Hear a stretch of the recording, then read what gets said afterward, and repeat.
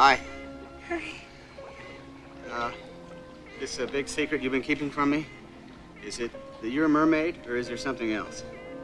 No, that's it.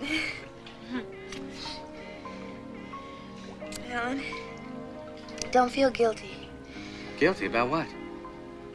about not loving me anymore. Madison. All the time we were together, you always knew how I was feeling. Can't you tell now?